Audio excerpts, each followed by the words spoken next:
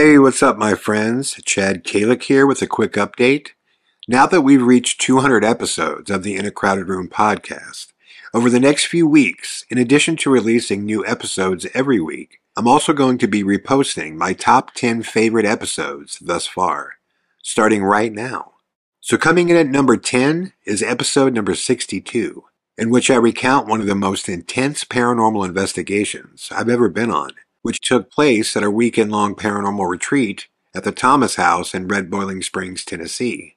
Although we had hosted events before at the Thomas House, this was the first time that I, along with 20 event attendees, were granted access to investigate an abandoned church that sat across the street and adjacent to the Thomas House. As you'll hear, what we all experienced was absolutely mind blowing. And as you'll see, a truly disturbing piece of evidence was also captured, which demonstrated to all of us that we were definitely not alone. With that being said, enjoy episode number 62 of the In a Crowded Room podcast.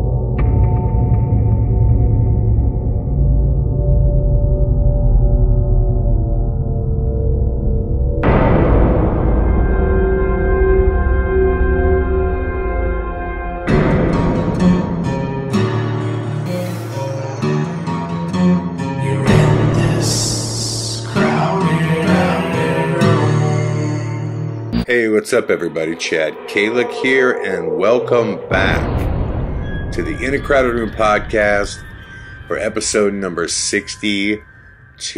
I am extremely sick, everybody. I knew this would have happened on my way back from our AGH Presents the Thomas House event, which is exactly what episode number 62 is going to be about. But on my way back, we had a nightmare plane trip home, which included almost four hours on the tarmac in a 92 degree plane, which we were sweating like crazy, and everybody's breathing the same air. And this is cold and flu season right now. And my chest is so congested. So congested makes breathing uh, a little hard right now. So if my patter is a bit slow, you'll understand why. But I wanted to get this podcast out there because the experience that I had at the Thomas House event was one of the more intense paranormal investigations that I've been on in some time. With that in mind, I wanted to go back to the Thomas House because it's the only place that I've ever been to that I hosted an event and actually had to shut the event down and get all the attendees out so I could figure out what was going on. Now, I did a previous episode about this, but uh, yeah, it was a situation where just all of a sudden it was like a paranormal explosion. Uh, we had probably over 100 people there, and they experienced these salt shakers flying, and also uh, a punch bowl spinning on its own, a table and a lamp popping up in the air, multiple EVPs people captured. A whole group of people experienced back pain at the same time simultaneously. So I knew going into this event that the potential was there for things to get real. Um, but again, I, I had just been away from it for so long. You know, maybe I maybe I should have taken it more seriously. But time has a way of doing that. It has a way of scrubbing away those fresh memories, and it gives you a a butter knife instead of a ginsu in return. You know, uh, nothing is as sharp as it was. Uh, the memory is much more dull. I think that definitely happened because I wasn't prepared for what was about to come. So let's start at the beginning. On the 29th, my good friend Craig Powell flew into Los Angeles from Sydney, in which I picked Craig up. We had a series of exciting meetings, and the following morning, uh, we had a great flight in. Flew to Nashville, Uh, got picked up by my good friend Justin Ross. I met his attendee Shane, uh, who they also call Bear, because this man is very hairy. True fucking story. Um, so I get to the hotel and it's awesome. There's a ton of familiar faces. Brenda, Lori, uh, Bob, and Sharon Ruiz, Susan. Uh, so many, so many that make our event so special. Very much a family atmosphere. And uh, it felt like we hadn't skipped a beat. I mean, it really didn't. It felt like there was not a two year, you know, uh, lull in between events. Uh, and all the new faces were amazing people. Uh, my new friend Dee from Australia, you're a sweetheart. Michael Wilcox, what, what a great guy. Uh, Linda, it was so cool to have you join us and share your stories. Um, it was just awesome. I mean, that's what I love about our events the most is just the people, you know, the people. And, uh, you know, the hotel was amazing, as always. Uh, you know, whenever I plan events, because you can't guarantee the paranormal, you know, you can't. And if someone says they can, they're lying to you. But what you can guarantee, you know, you want to take care of your guests. You want to make sure that should nothing paranormal happen, at the very least, they're going to be blown away, uh, you know, by where they're staying, and that they're going to have a great time with everybody uh, there, and that, uh, you know, we're going to do everything in our power to capture paranormal activity. And um, as long as all those things happen, then I know that everyone's going to have a great time. Uh, allow me to, allow me to grab a drink really quick, guys. I'm sorry. So, like I said, it was awesome. It was awesome to see everybody. And the first night of investigating comes, in which I take everybody through the walkthrough of the Paranormal State episode. We shot the episode Room 37. Uh, this was Mary Beth Wiley's debut as well, which was a proud moment for me. Um, and it was super cool. I took everybody around, showed them where all the activity was, and from there we went right into our first night's investigation, in which nothing happened. And this happens, I swear, guys, 99% of the time. The first night, nothing happens. It almost just feels like it's an acquaintance period where, like, you know, they're checking you out and you're checking them out without even knowing that that's what you're doing. It seems like just a, a familiarity, like they're just watching. Um, but this happens all the time. With the first night, it's just, you know, you can hear a pin drop. You know, there's just nothing. So I wake up the following morning and have this absolutely mind blowing Southern breakfast. And I hear that there is a church across the street that is owned by the proprietors of the Thomas House. And they are saying that we can go over there and investigate.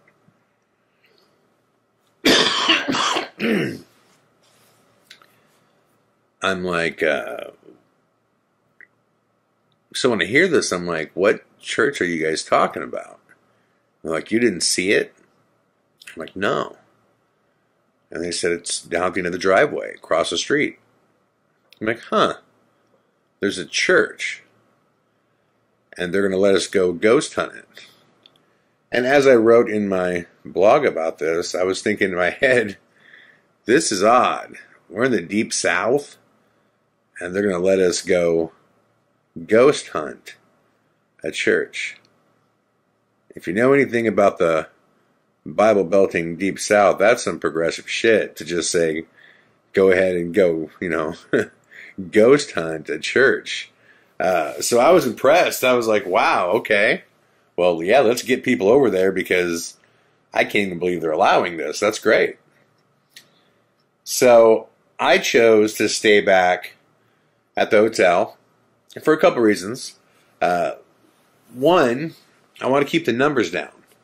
You know, you don't want to have everybody a, at an event crowd into one location because it's just going to destroy the investigation. Any evidence you may think you have is going to be so contaminated with everybody else's talking, breathing, walking. Um, so I said, let them go do their thing, and I'll stay back here uh, with everybody who's here, and I'm going to make sure that they all have a good time. Uh, and I also wanted to check out room 14 again, which was a room that I was in during our previous event, and which I saw with my own eyes, you know, from my lips to God's ears, I saw a table with a lamp on it, little, you know, side table, pop up in the air and just smash against the ground. So I wanted to go back to that room to see if this could happen again. So, long story short, nothing happens for me. Um, I'm hearing stories throughout uh, the main house, uh, at the Thomas House, the main hotel. Uh, little things are starting to happen. People are uh, saying that they've seen some shadow people. They've experienced some knocks that they, you know, feel as though these knocks occurred in a way that would suggest intelligence. And, uh, you know, it feels like things are warming up. So I go downstairs to have a cigarette, and man, I just, you know, hear everybody uh, walking up the hill, a group of probably about seven or eight people, and they get to the front porch of the Thomas house, and I start hearing crazy stories. Uh, glass threw itself and shattered. Uh, you know, rocks were being thrown inside the church.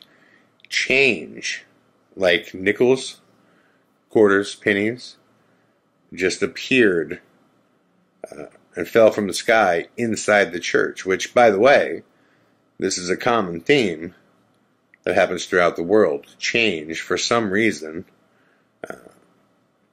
just manifests and falls from the sky to the ground. Google that. Really, really strange phenomenon that's been occurring since the beginning of time. Um, very bizarre stuff. So it's not that I don't believe people. I just lack the ability to believe anything fully unless I'm there to experience it. And, and, and I mean, I lack the ability. If I could choose to believe, I would choose to believe because I know these people and I know them to be good people.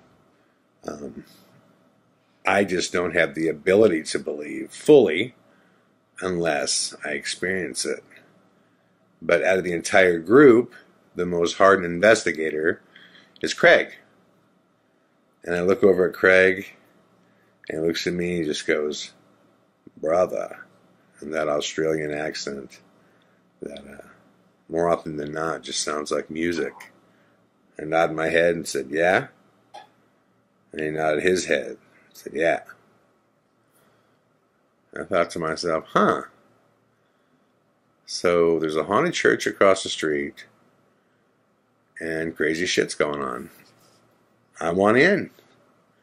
So I tell Craig uh, and everybody else that tomorrow night I will go to the allegedly haunted church.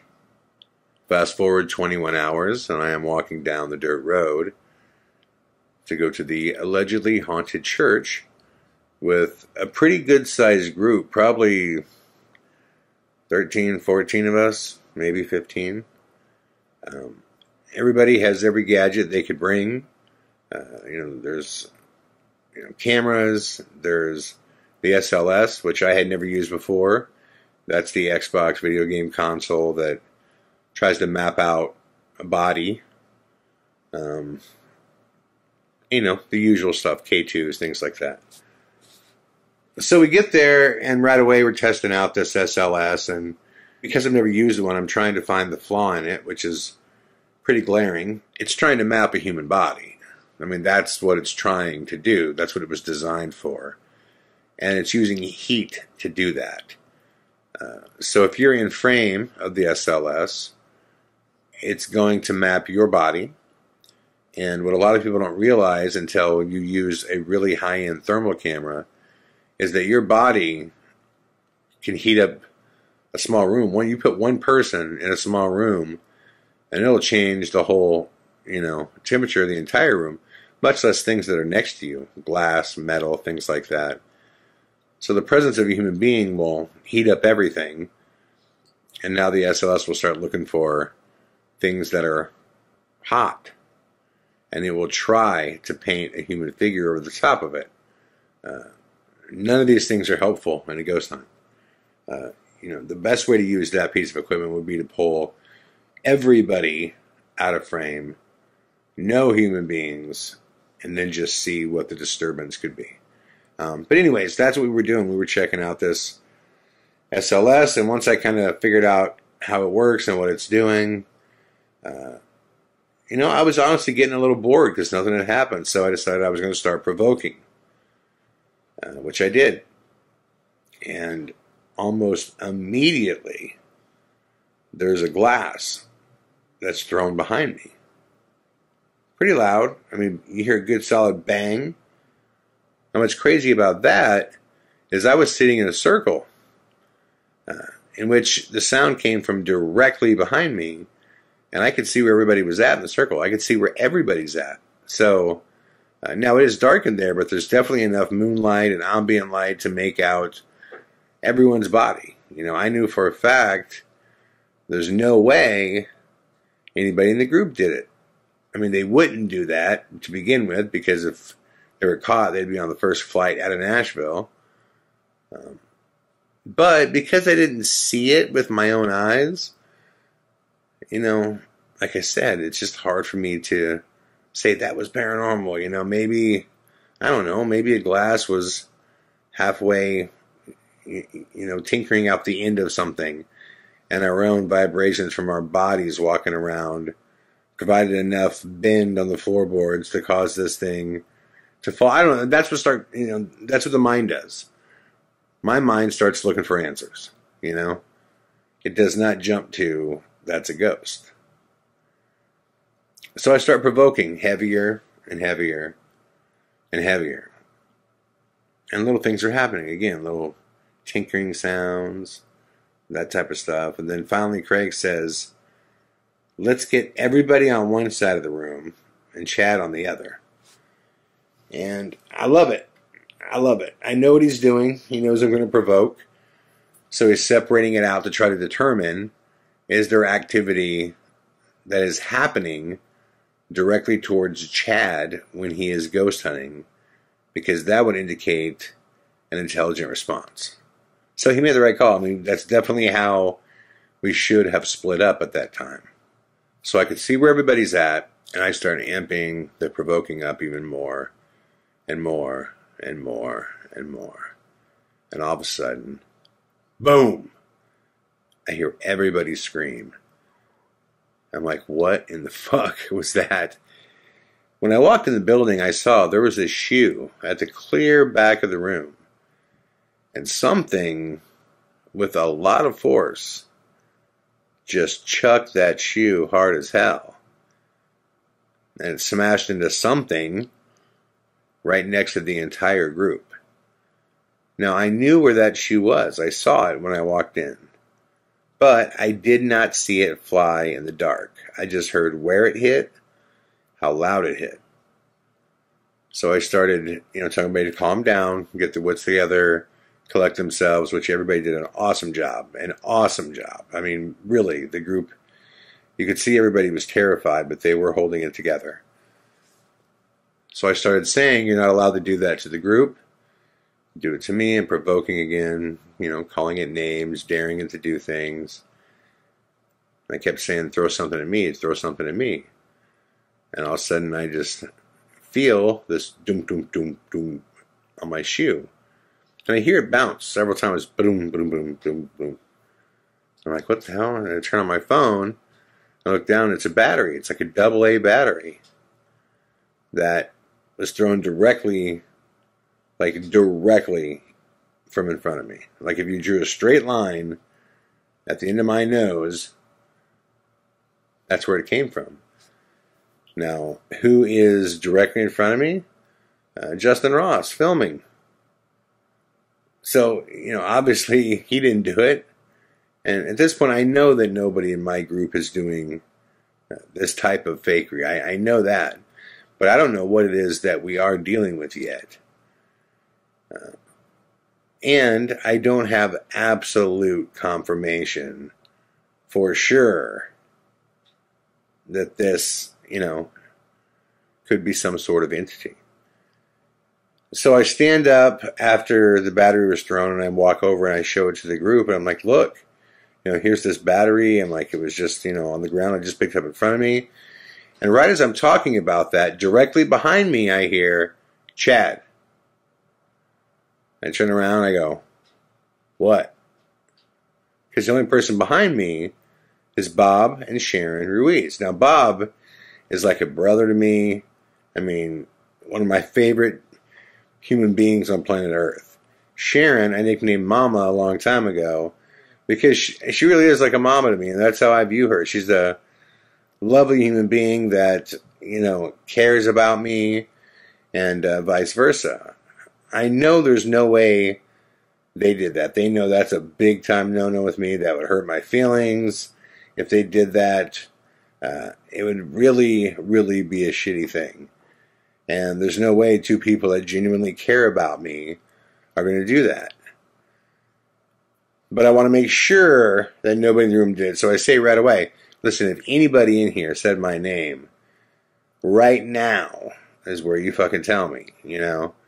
And, uh, you know, it's dead quiet. I said, nobody in here said my name. You know, Bob's going, Chad, no. The thing is, I knew that. I knew that because the only male behind me was Bob. And right away, Liz Bowling speaks up and says, Look, I heard it. I heard it. You know, Michael Wilcox says, Chad, I heard that right away, loud and clear, man. And Craig says, Wow, Chad. Because Craig was in the opposite direction of me. And he goes, There's no question that was your name. And there wasn't. I knew there wasn't. I knew there wasn't. I know what I heard. It was as plain as this and as loud as this Chad. So at that point, I know for a fact that's the confirmation I needed.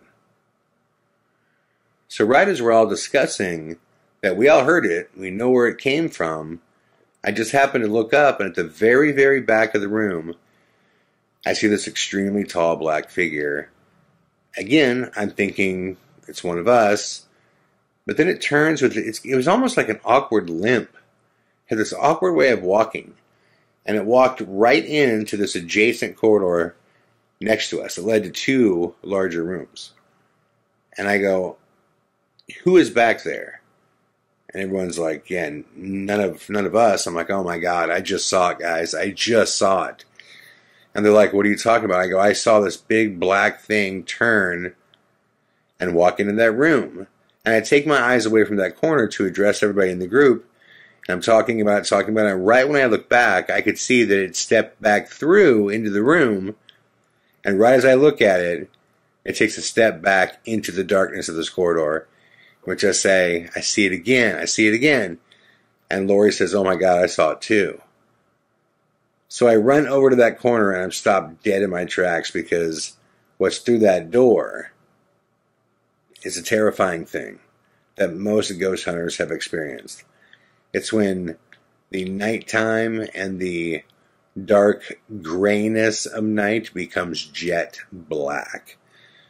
It's almost just like just a black hole, man. Like nothing could penetrate it. And I look in there and it's just jet black. And I say to Craig, you know, you ready? Because this is going to get real. And Craig, Craig looks at me and says, yeah, brother, let's do this. Now, at that time, Bob Ruiz has grabbed Lori's camera, uh, and he's right behind me. Justin Ross has a camera, and he has fallen in line too, so they got our backs as we're going to go through this corridor, which we do. We both go through the corridor and right away, I could feel that presence. I could feel it so freaking strong. And uh, so could Craig. I mean, and this isn't psychic ability, it's just intuition. And uh, immediately, I turned the camera into this long room that's adjacent to the room we were just in. And at the back of the room, there's this window and this light, this exterior light that you could see through the window. I'm just standing still, looking down this long corridor, and you could see this black thing steps in front of it once and walks by it, comes back again and walks by it, and the third time steps in front of the light, completely blacks it out, and, and just stays there. Like it was just standing there to let me know, yep, it's me. I was, yeah, really freaked out. Because I just couldn't believe how intense all this was so quickly. The, the glasses being thrown, the battery being thrown, the shoe being thrown, and my name being said.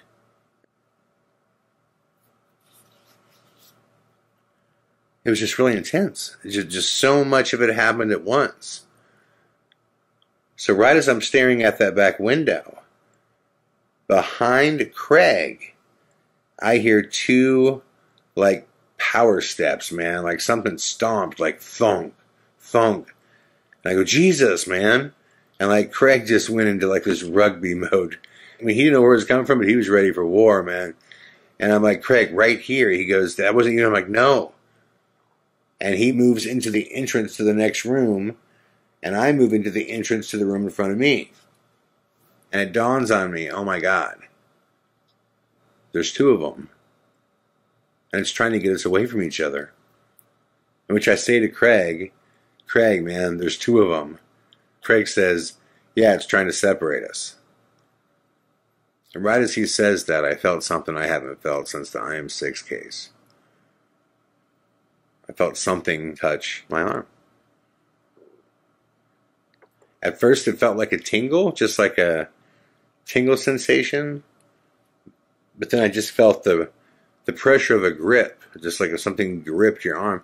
And I freaked out, man. I, I, I lost it for a second. And I freaked everybody out in the room. And I'm I'm sorry for that. I wasn't prepared, man.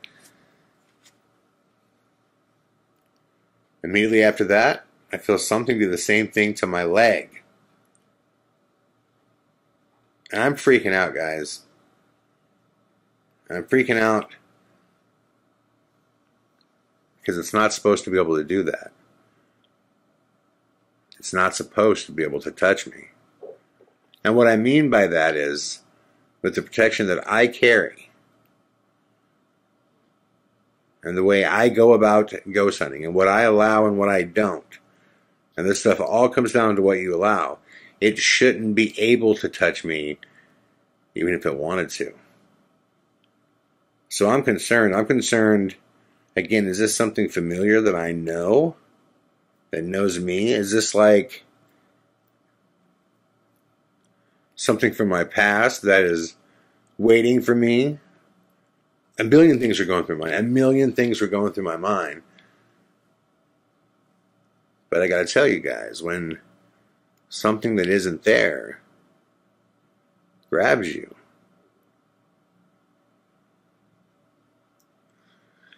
It's just not something you forget. It's not. It's not.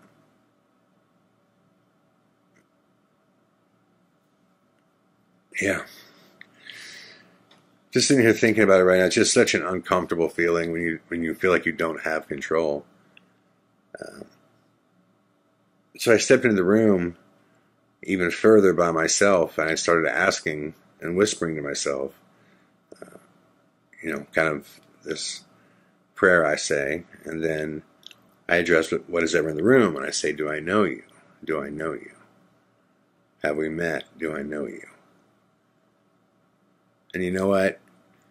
There was little shit going on all over that room. And the next thing I know, I feel Craig's hand on my shoulder. He says, Chad, back out, dude. He goes, Back out. He goes, You're all the way in there. There's no way out. I mean, like, there's physically no way where for you to go.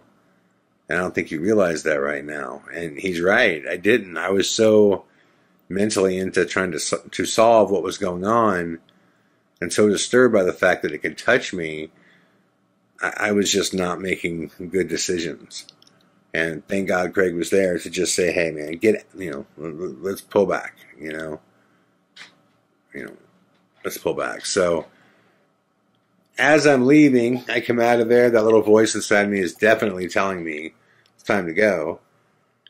So somebody turned on the lights, and I could hear everybody kind of talking and uh, conversing and, you know, about everything that just happened. And I say to everybody, hey, just because we're done, please keep your guard up. Because the lights on or on, you know, off or on don't mean shit. You know, I'm a big fan of the lights being off because it sets a vibe and a tone. And I think your own fear drives the paranormal. It's energy.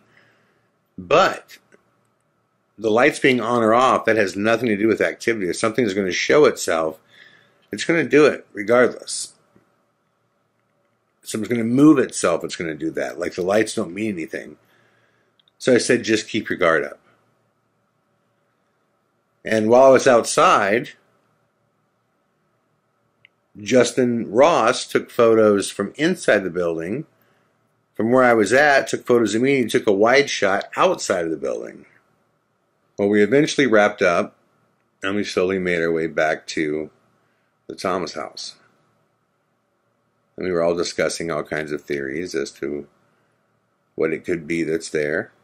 I definitely know how I feel and what I think was there. Uh, I do think it was an elemental spirit, which I'll do a whole podcast on elementals. If you don't know what that is, please Google it. And we get back to the hotel, and we're all kind of sitting out front. And uh, Justin says, Hey, check your phone. I just sent you a photo. And the photo he sent was this, which, if you're not looking closely, you can miss what's standing in the doorway, which is this. And this, my friends, is exactly what I saw at the back of the room. Needless to say, this was a seriously intense investigation. And everyone was freaked out, man. Nobody wanted to go to bed. So I intentionally started joking around to lighten the mood. And, uh, you know, just telling, just things like, just playing with people, just telling, like Justin Ross,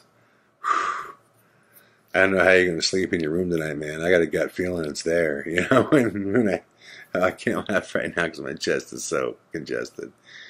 Uh, but just playing with people, and and uh, by the time 4 a.m. rolled around, everybody was kind of sitting together upstairs in a group, joking and laughing, and uh, telling even more stories, and and uh, it was just an amazing time.